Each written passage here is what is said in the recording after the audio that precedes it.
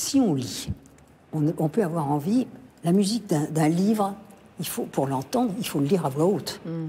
Comme pour apprendre à lire, il faut, il faut lire à voix haute. Vous pouvez lire à voix haute avec l'écriture inclusive mm. Non. Mm. Je vous mets au défi. Or, ça ne sert à rien.